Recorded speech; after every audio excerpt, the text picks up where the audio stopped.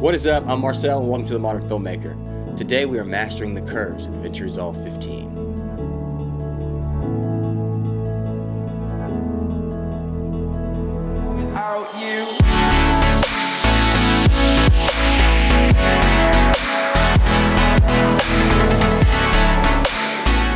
So there's an extremely wide range of possibilities with pretty much every tab in the color section of DaVinci Resolve. But the curve section alone can do what a lot of the other tabs do with even greater detail than they can do them. So today I'm going to use only the curves to show you a bunch of techniques that I use on a regular basis.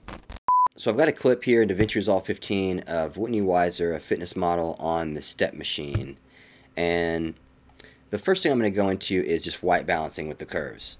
Um, white balancing with the curves is probably the one of the most powerful and in-depth, like deep dive detail way to white balance, uh, just because you have so much control. And in the curves, you have this line that goes, you know, from top right to bottom left, and you have the YRGB. And the Y is just your luminance, so from black to white. And then your R would be the luminance of the red. So your darkest red to your lightest reds, and then the greens and the blues the same. And so for the white balance, uh, you should have by default have this qualifier um, selected as your mouse tool. If not, all you have to do is go to this bottom left hand corner menu in the previewer and go to qualifier.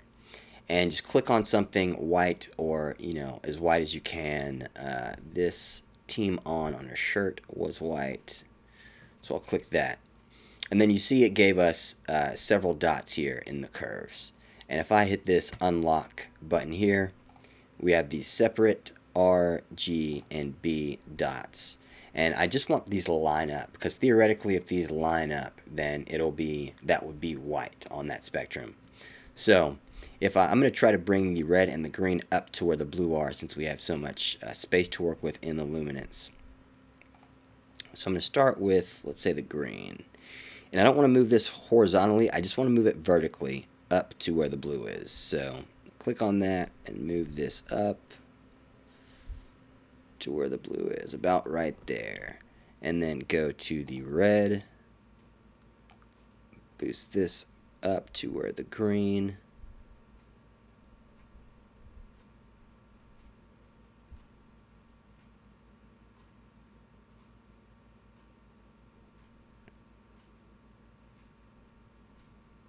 maybe a little lower. That's good. And what you can do with the curves, now that we have these RGB lined up here, you can see that our uh, in the in the high range of our parade scopes, they're pretty lined up. But it's when you get to the midtones that they kind of get all over the place, um, which could just be how the shots lined up. But the thing is, in the curves, you at least have the ability to go in here and make some changes to that. So if I go into the blue spectrum here in the curves, I can make a dot here towards the midtones and then make another dot here towards the shadows. And then you can see here in the parade, I can lift these blues without lifting the highlights. I can even bring these highlights down a little bit to more so match the green and the red. And then boost the midtones a little more, maybe go further into the shadows. And yeah, that looks better. Because if I go back to the original just lineup of that RGB, she kind of had an orange tint to her. And that's what was going on. That's what we were seeing here in the parade. So by being able to go in there and put, you know, a dot there, I could have put a dot anywhere um, in the spectrum I wanted to change. And by being able to bring that up, it really allowed us to get a much closer because her skin, you know, she was nice and tan for the shoot, but she definitely wasn't orange. So that's awesome. So moving on, I'm going to hit Alt S and make a new node. And this one, I'm just going to show you guys how to expose or how I usually go over the exposure or re-exposing my shot um, through color correction with the curves. So here in the curves, you know, again, I had this qualifier picked and what I usually do is try to divide where things are in the shot that I want to separate. So the focus in the shot is the girl, of course. So one thing I'm going to do is separate her luminance spectrum in the curves first. By doing that, I'm just going to click in her highlights. Now her nose is pretty in those highlights there. And then I'm going to go down to a midtone on her skin. Let's go here, and then I'm going to go to a shadow on her skin. Boom. This way, we have three dots made, even more if we go into the RGB, um, which we don't need to do with just exposure. But, you know, now I have three dots made that really solidify just where her skin is. So if I change those dots, then it'll either brighten or darken different parts of just her. And then I can go back here and I'll click maybe right here.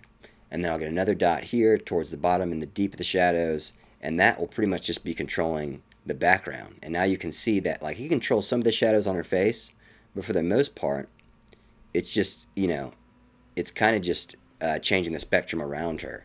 Um, so I'll bring this back down. And then I can click on something that's super bright like this, and it'll create a spectrum there. That way, you know, if I don't want this to get any brighter than it is right here, then I just don't have to move that dot, and it never will, um, even if I move all these other ones. So pretty much what I like to do is start from the bottom and work my way up, kind of nudging um, what I want to stand out. And of course, this being about her, I want her to stand out. So I'm going to go to the lowest spectrum that was on her, which was this third one from the bottom. And I'm going to move this slightly up a little bit. A little more. And then I'm going to go to the next one up, and I'll move this one up as well. And it looks crazy right now. And then I'll go to this highest spectrum on her face, and I'll move this one up. And now it starts to level out.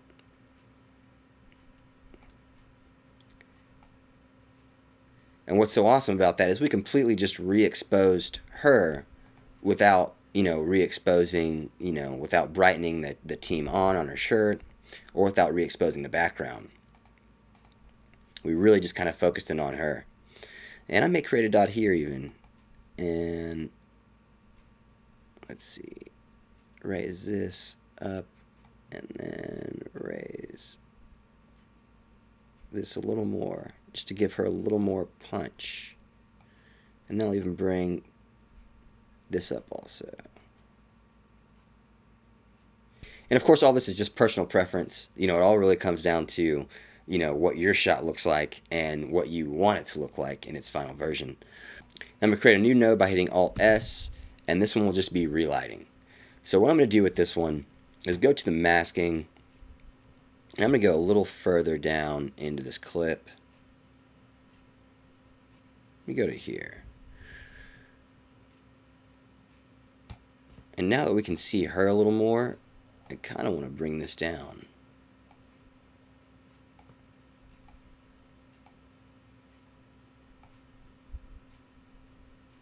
Yeah, I like that. And I'm going to bring these shadows down too. Just really make her pop. And then boom, from here, what I could do, I don't know if it's super necessary in this shot, but I'll create a mask and then quickly mask out her face.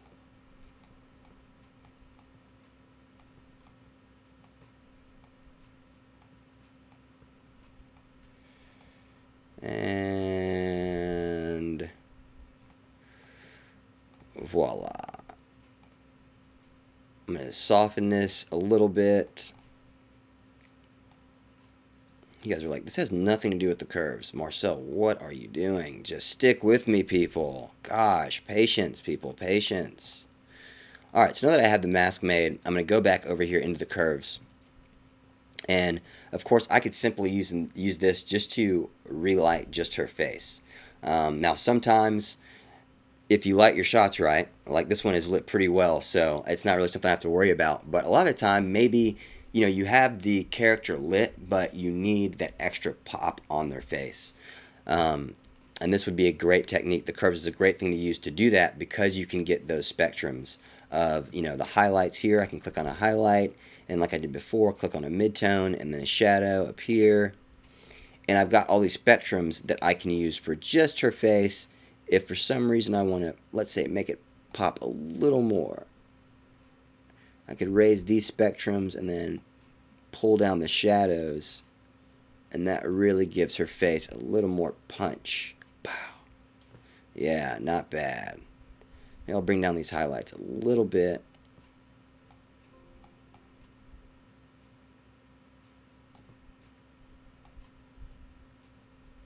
Yeah.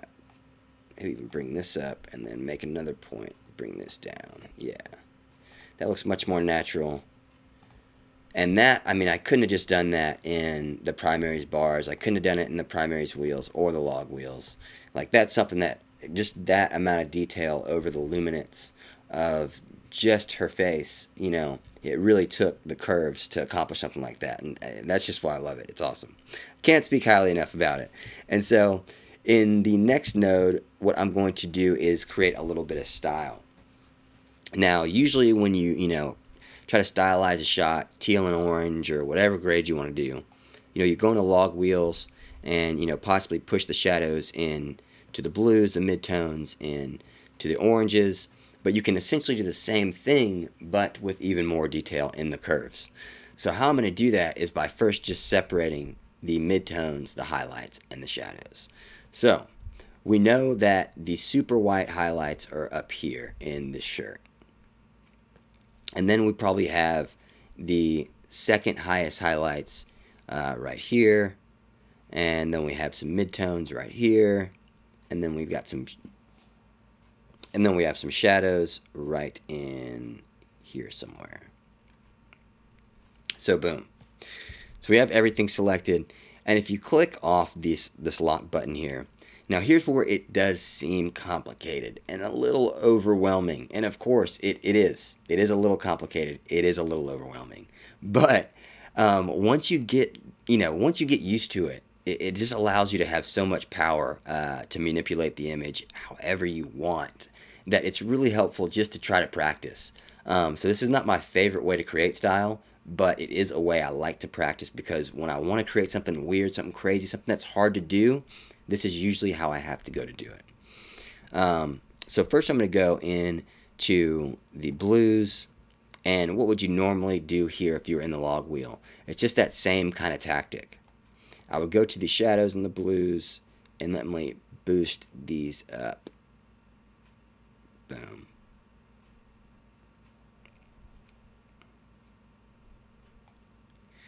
And then I could go to, let's say, the red, and I'll boost up the midsection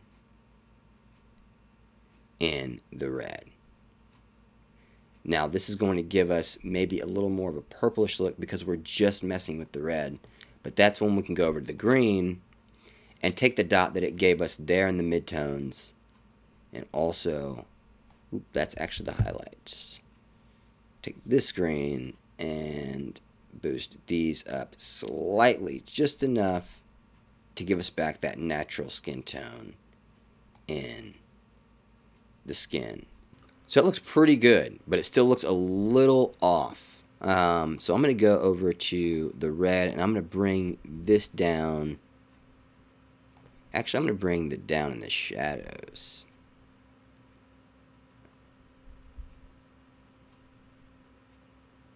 Yes.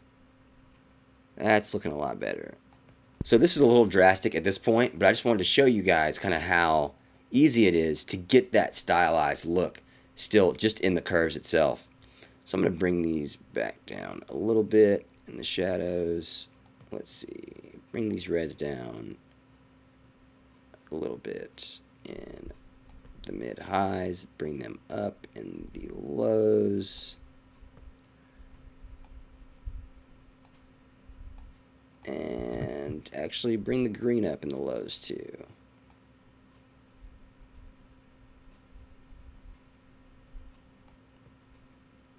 Yes.